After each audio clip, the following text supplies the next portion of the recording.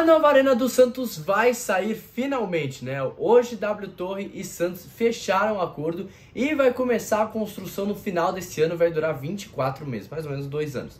E aí, para você que tá perguntando igual um desesperado onde o Santos vai jogar, vai jogar em São Paulo. Provavelmente, né? Não é informação minha, né? Eu vou ler a matéria do UOL com vocês. A gente vai destrinchando um pouquinho. Provavelmente o Santos vai ficar no Pacaembu, né? E aí vai revezar com outros estádios. Aí Arena Barueri, provavelmente algumas vezes.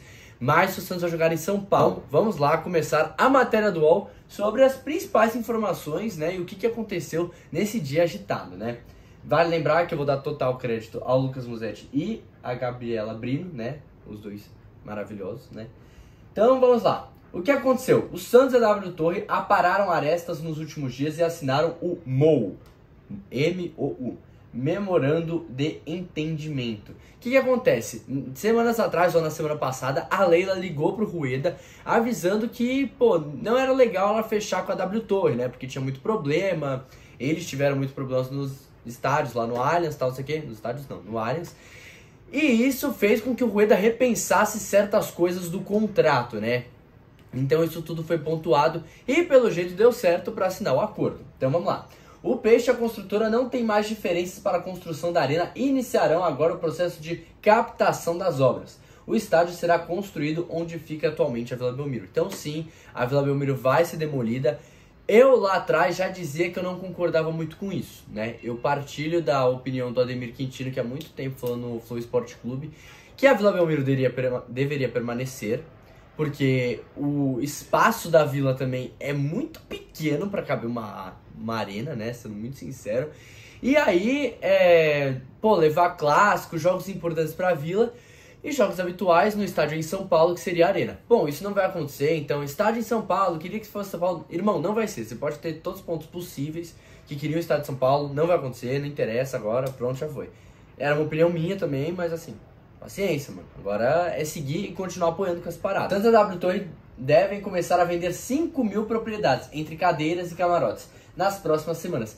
Esses valores seriam suficientes para o start das obras. Então, esses cinco, essas 5 mil propriedades seriam importantes para a construção mais para frente. Então, você querendo ou não, se você comprar cadeira ou camarote, você vai estar participando da construção do seu estádio, né?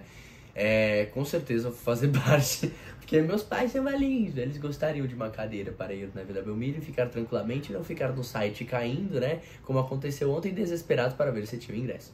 Então vamos continuar. Os trabalhos devem começar no fim deste ano e durar cerca de 24 meses, como eu falei reformulação, né? Como ficou mais ou menos o projeto. Os Santa W Torre precisarão rever detalhes do projeto para o investimento caber nos 300 milhões de reais previstos, com concessão de 30 anos. Então, nesses 30 anos, o Santos vai poder mexer bastante no projeto e tudo mais, né? Pelo que eu entendi.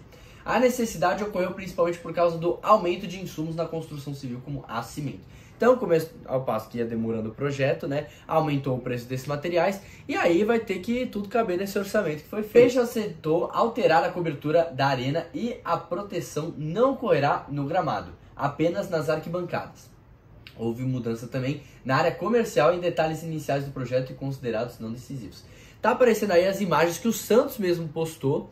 E aí, né, pelo que eu entendi meio que essa parte, porque pelo que tá aparecendo, as arquibancadas não vão ficar tão protegidas, né, como eram as imagens iniciais que agora estão passando na sua tela, que parecia que ia ter um círculo que só o gramado ia ficar descoberto. Enfim, né, não entendi muito bem, mas Vamos. Mais detalhes, a nova Casa do Santos terá capacidade para 30.108 pessoas, como eu disse lá no vídeo do TikTok do Instagram, lá ele, né? Será dividido em quatro setores: arquibancada, arquibancada superior, deck premium e camarotes, né? Eu acho que a divisão da Vila Belmiro para a nova arena, é, eu acho que vai mudar bastante, tá ligado? Tipo, não acho que o camarote vai ficar tão embaixo. Talvez o camarote fique bem em cima, assim. Tem alguns camarotes que são em cima, mas literalmente todos. Eu acho que vai acontecer isso. Pra, eu acho que deveria também manter a parada de tipo, ah, a arena tá não sei o quê, mas devia a lá, arena da Baixada, tá ligado? Ficar tipo bem perto do banco, tudo mais, até pra continuar a alma de alçapão, né, que tem a Vila Belmiro. A área é de 71.694 por 46 metros quadrados, vão ter 27 lojas internas e 36 lojas externas. Agora é importante, o gramado será sintético, Vale lembrar que essa polêmica está acontecendo há muito tempo porque o gramado natural é mais barato que o sintético. Então, assim, é mais um custo muito elevado e também para manter bem carinho, né? Eu quero ver como é que o Santos vai fazer. E também é, shows vão acontecer na Vila Belmiro, né? Na Vila Belmiro, não sei como é que vai se chamar, se é Arena e Pelé, não sabemos ainda. Mas, né, vai ter uma capacidade de 35 mil pagantes em shows. Bom, foram dadas todas as informações que a gente teve agora pela manhã sobre esse acordo fechado. O que eu achei? É fundamental o Santos sim se modernizar, né? Se a gente for comparar pelo menos com Corinthians e Palmeiras que tiveram suas arenas, foi um retrospecto muito bom, assim. Obviamente houve uma elitização maior, né?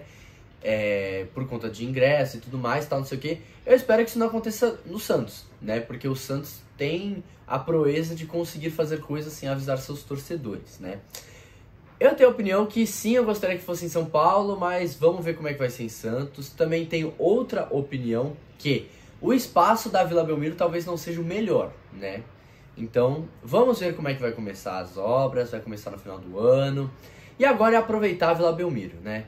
Para aproveitar em todos os jogos, fazer o máximo de festa que a gente conseguir, porque infelizmente agora tá com o tempo contado. Escreve aqui nos comentários o que você achou, se você tá feliz. E é isso, curte, comenta, compartilha e falou!